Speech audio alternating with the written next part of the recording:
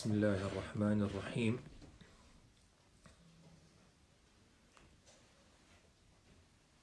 الحمد لله الحمد لله العلي الواحد العالم الفرد الغني الماجد وأفضل الصلاة والتسليم على النبي المصطفى الكريم وآله وصحبه الأطهار لا سيما رفيقه في الغار وبعد Inshallah just wait for people to join.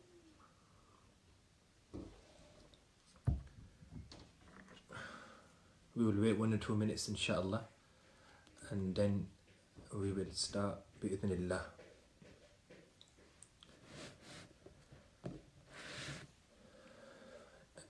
Any brothers or sisters have any questions to do with this topic problem of evil and suffering uh, they can kindly inshallah uh, post their questions in the comments and inshallah I will try to answer them so in Ramadan I posted a brief comment regarding the problem of evil and suffering. And several brothers they asked questions for clarification purposes. Uh, this I thought is only fair that I give some time uh, to this question and if there are any questions that brothers have then inshallah uh, they can post their questions and I will try to answer them. Now the title of the concept the problem of evil and suffering. Now I just want to give a brief background on this uh, objection or question uh, this question and concept was initially pioneered by Epicurus. Now, those that don't know Epicurus, Epicurus was a Greek philosopher who lived between 270 and 341 BC, and uh, he he had he had this riddle, and inside this riddle of his, he posed a question uh, to the believers and theists, those who believe in God. Now, I want to read Epicurus's riddle first, and then, inshallah, from there uh, we will answer this uh, objection. God, uh, this is a translation of the the riddle which is in Greek initially. God, says Epicurus, either wishes to prevent evil and is unable, or he is able and is unwilling, or he is neither willing nor able, or he is both willing and able. If he is willing and is unable, he is weak, which does not fit the character of God. If he is able and unwilling, he is malevolent. Malevolent meaning evil, which does not fit God's character either. If he is neither willing nor able, he is both malevolent and weak, and therefore not God at all. If he is both willing and able, which alone is fitting for God, from what source then are evils? Why does not why does he not prevent evil? So this is Epicurus' riddle, where he is uh, challenging and objecting to the uh, theistic theology of God. And he mainly questions the two uh, characteristics and attributes of Allah. I will use the word God uh, just to keep things easy for now, because we are directly dealing with Epicurus' riddle, because he is a pioneer and before I move on, there's one thing I want everybody to understand here. a lot of the modern day uh, uh, challenges or uh, concepts that we hear that are leveled against Islam and Islamic theology, they're not really new. They are all old. So even, for example, LGBTQ, homosexuality is not something that is new. It was there in the time of Lut alayhi salam. In the same manner, uh, atheism, agnosticism, your pantheism, uh, de- deism, fideism, you know, all the isms, they are not new uh, phenomenon, uh, phenomena or new concepts. They are all old. Since shaitan and the devil has been there, uh, these uh, corrupted and deviated ideologies have existed. The only issue is that many of us, uh, and, I'm, and, I'm, and when I say many of us, I'm talking about the Muslims in particular, and our youth especially, we don't read the works of our scholars and ulama. And because of this, uh, at times we come under pressure and we struggle in answering some of these problems. The reality is that these problems, these concepts, they've been tackled, repudiated, refuted, refuted and adequately answered by our ulama. The only thing we have to do is contemporize, contextualize those concepts uh, in modern day context. So now Epicurus' riddle is mainly based on the two, two attributes of Allah subhanahu wa ta'ala. All powerful and all good. So Epicurus' argument is that if God is all powerful, omnipotent, uh, qadir, innahu ala kulli shay'in qadir, then why does he not remove and alleviate the evil in the world? And if he's all good,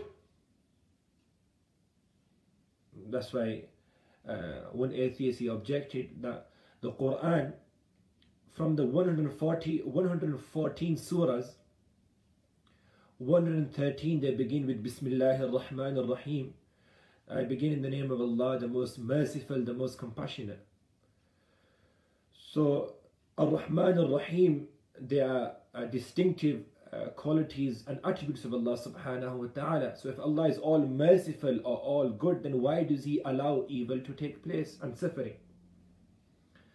So this is the synopsis and the gist of Epicurus' argument that you've got all powerful and you've got all good or all merciful, uh, very similar meanings.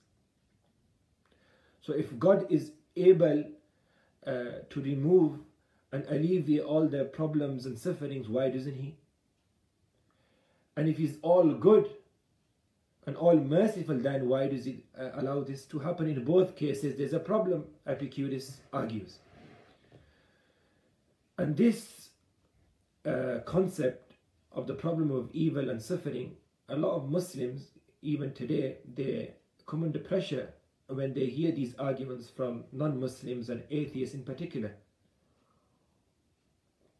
So, inshallah, in the next half an hour or so, I want to uh, systematically scrutinize uh, and criticize this concept based on, inshallah, sound arguments. Number one, the first, most and uh, most important, that the the entire concept of evil and suffering is based on misrepresentation and false premises. And what do I mean by false premises? Premise is those elements, uh, those sentences in more simple terms, which uh, form an argument. So if a person has an argument and before they reach uh, the conclusion in order to establish their argument or the point and the claim of the argument, the procedure that they take, the steps that they take, those steps and those procedures, uh, they consist of premises. So sentences in, in simple, in later, layman terms. So the premises, meaning the main structure of this entire argument is based on misrepresentation. And why do I say this? The reason I say this because as Muslims, especially, we don't believe that Allah is only all merciful and all kind. These are only two of His attributes Or Allah is all powerful and all merciful. we don't believe Allah to be confined in only these two attributes. We believe Allah to have many al-asma wa sifat as they're known, the attributes and qualities that have been mentioned in the Quran and Hadith. Allah is also all wise, He's all powerful, He's omnipotent, omniscient, فَعَالٌ لِمَا يُرِيد He does what He pleases. لا يسأل عما يفعل Nobody can question Allah for what He does. وهم يسألون Yes, people will be questioned. So when we look at the attributes of Allah and we study the sifat of Allah, we will know and will have this conviction and certitude that Allah does not only have these two attributes. So the first thing we say to an atheist when they come out with this objection, the uh, uh, uh, problem of evil and suffering is said, number one that at least it is only fair that we dialogue and we discuss with you is that number one you represent our God correctly. Number one. You've restricted our God into only two attributes. And this is unfair and unjust because we don't believe Allah only to be all merciful and all kind. These are only two of his attributes so this is number one, very important. And if we stress on this point, from a philosophical perspective, we have actually dismantled the entire argument because the entire argument is based on uh, false uh, premises. They're not, they're not true. They're simply not true. We don't believe God only to be all powerful and all merciful, as Epicurus says, or anybody else says that he's all merciful and all loving. So that's number one. Number two, there's about five, six points I'm going to mention, inshallah. Hopefully, this question, this the, the problem of evil is not a problem. At the end of these, inshallah, you will realize that the problem of evil and suffering is not a problem at all. Number two, number two, looking at the nature of evil and problem. And I want to uh, specifically concentrate on problem. The atheist or anybody who does not believe in God, they have to uh, establish uh, that problems are uh, intrinsically uh, wrong or incorrect or evil. What do I mean by this? What I mean by this is that not every problem is bad. Not every problem is bad. Why? Because we testify and we see many problems in our life make us better people. Or make us a better Muslim from Islamic theology, there's no problem at all. Because we believe uh, tests and problems of uh, they, they, come from Allah uh, to uh, to test a believer, and uh, shahada and testimony will also um, collaborate with this notion that problems many times problems make a person a better uh, a better person. For example, a test comes, a problem comes inside family or in health or wealth, then a person begins to introspect and contemplate in his actions and his life, and then he tries to rectify himself so he becomes a better Muslim, a better believer, or a better human uh, for that uh, for that matter. So number two, that atheist has to provide evidence that problems and evils are intrinsically bad, and there's no good aspect to it at all, which can be proven otherwise easily so many problems are a means of mercy and a person becomes a better person. So that's number two. Number three. Number three, when an atheist, he objects. The reason he objects because he doesn't understand the wisdom behind evil and problem that why would a merciful and all loving God allow evil and problem happen. So he endeavors to understand the wisdom behind evil and problem. So from an Islamic theology uh, perspective, Islamic theologic, uh, theological perspective, we can easily answer this. And the reason we can easily answer this is because in the Quran and in the ahadith of the Prophet sallallahu alaihi wasallam, there have been uh, many uh, many reasons have, have, have been given by Allah and His Rasul sallallahu alaihi wasallam for uh, why uh, problems and evil takes place in the world. ولنبلونكم بشيء من الخوف والجوع ونقص من الأموال والأنفس والثمرات وبشر الصابرين Number one, test. Allah tests in person wealth inside his offspring, inside his health, etc. ظهر الفساد في البر والبحر بما كسبت أيدي الناس. The Quran is very clear that the corruption that we see on earth, the corruption that we see on earth, this is because of people's actions. بما كسبت أيدي الناس. The corruption on earth and sea is because of the actions that people carry out. So there, there is explanation of problems and evil happening in the world. Number, I don't know, what, what number is this? I can't see any questions. Are people asking me questions because I don't know. I can't see any questions on the screen. Uh, let me just see if there's any questions.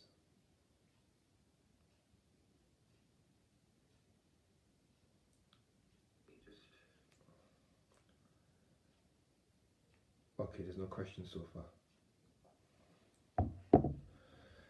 So, yes, so that's number three. Or was it number four? I think it was number three. Number four. Number four point against this argument is that if we take Epicurus' argument that why does God not alleviate and take away the problems and evils in the world despite being omnipotent, then the opposite side of that argument is that if does God have to? Does God have to uh, alleviate all the problems and evils? If God has to, then this will make a God and Allah majbur. He is compelled and is forced. And this is against the nature and the definition of God. Because God, by definition, He has He's omnipotent and fa'alul lima yurid. He does whatever He desires and whatever He wishes. Point number five. If God does remove all evil and problems, and there is no evil and there's no problem in the world, then where does that leave free will? I mean, people, they commit certain actions through their free will, they choose certain actions because of which problems and evil come about. If there was no evil in the world and there were no problems in the world, then people would not have free will of carrying out those actions. Everybody actions will be restricted and they will be compelled only to do good.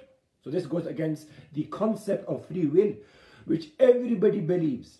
The theist, the atheist, agnostic, pantheist, everybody believes that people got free will. Why? Because we see free will, yes, the uh, that exception, I'm talking about in terms of uh, atheism and uh, theism.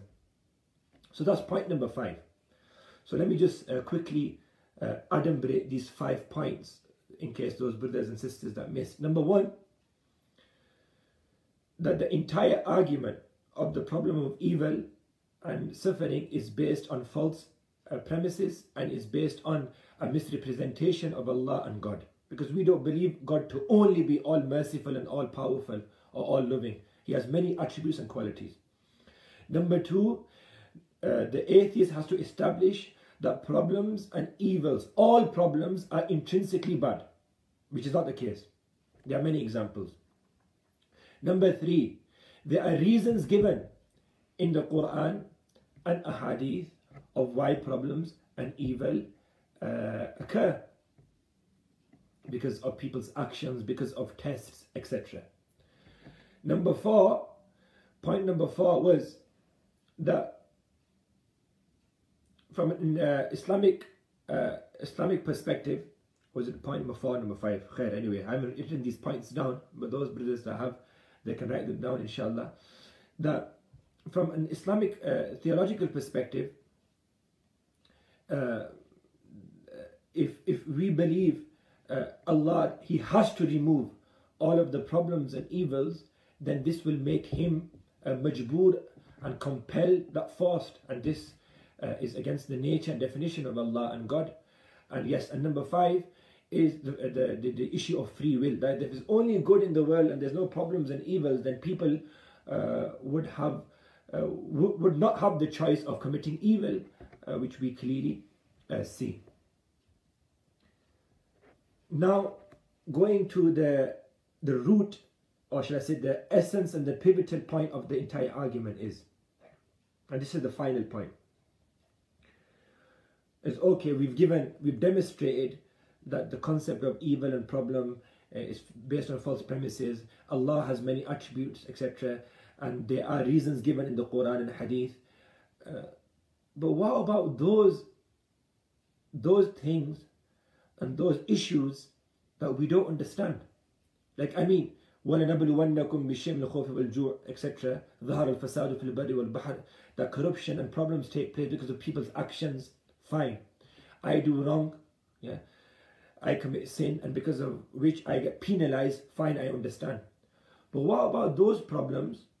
And what about uh, those issues that uh, we don't understand? So for example I'm not sure if, every, if, uh, everybody can everybody hear me. Looks like it's been cut off.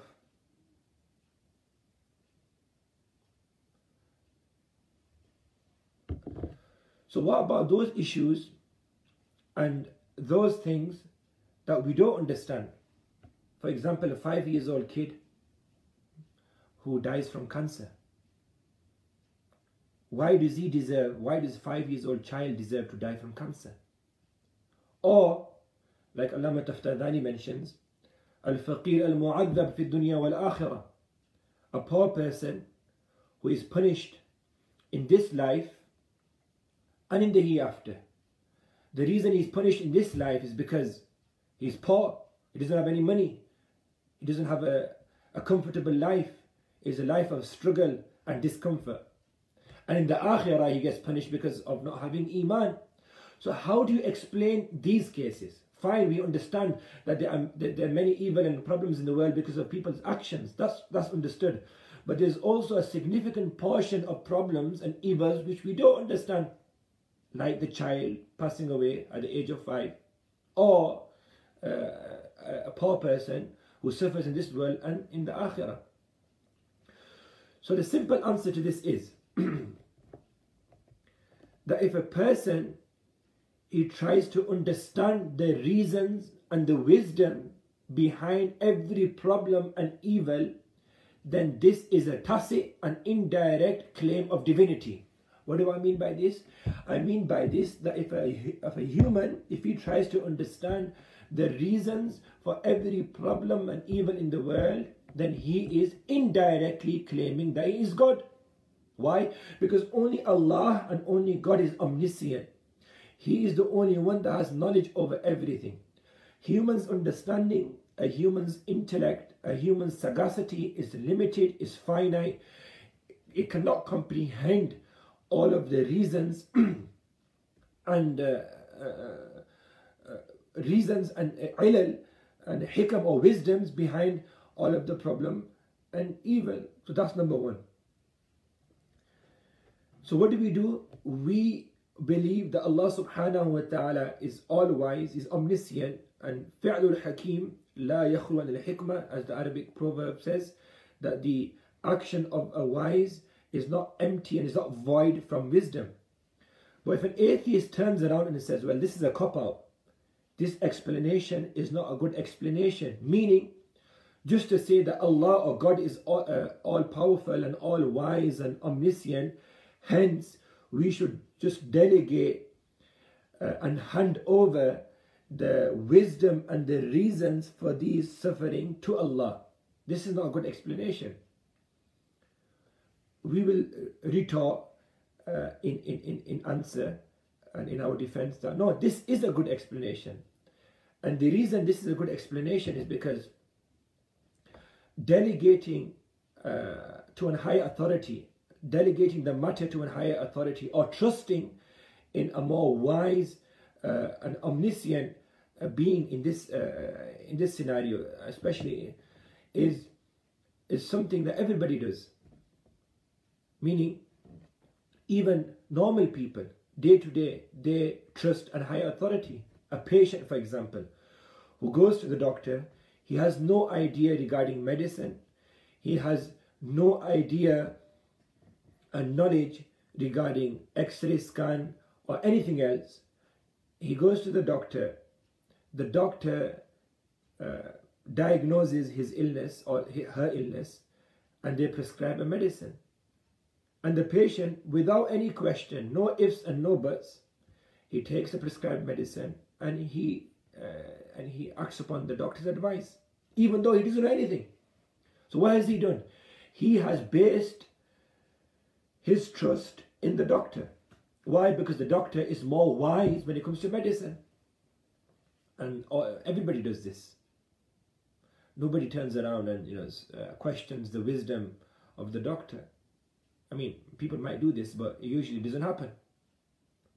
In the same way, if an atheist, for example, is sitting inside a plane 30,000 30, uh, feet high, and the pilot makes announcement that a turbulence uh, is coming, and it might get very bumpy and rocky, so everybody please sit down and fasten your seatbelts.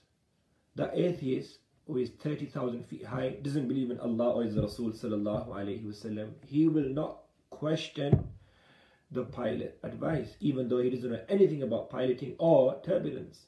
He has delegated the matter to the pilot. So what I'm saying in essence is that delegating our matters, especially those that we don't understand, to a higher authority is something that everybody does. The only difference is that an atheist does this in, uh, to the creation and we delegate our matters to Allah subhanahu wa ta'ala. So this is not a cop-out.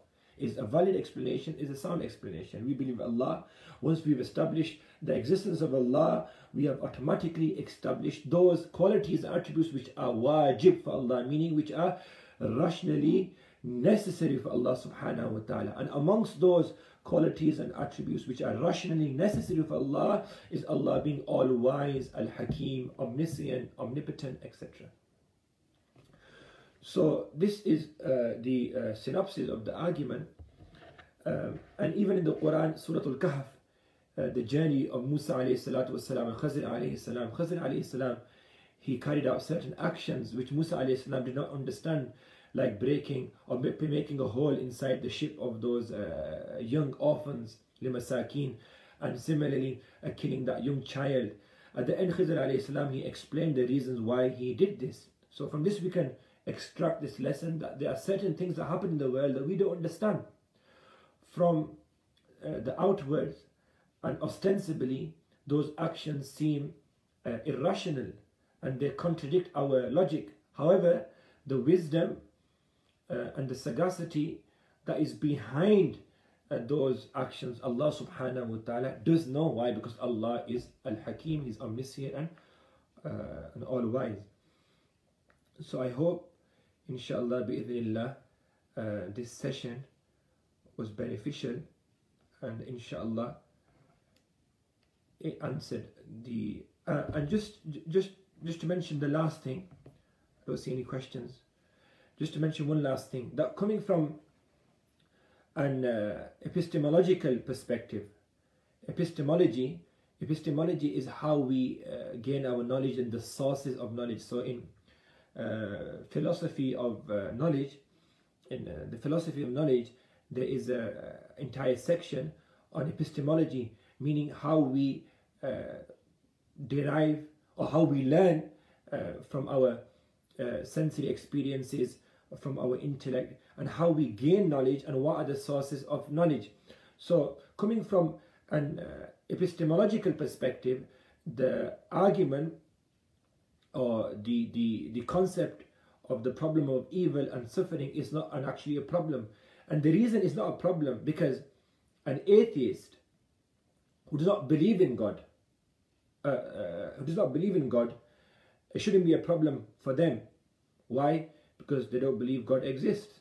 So it's not a problem.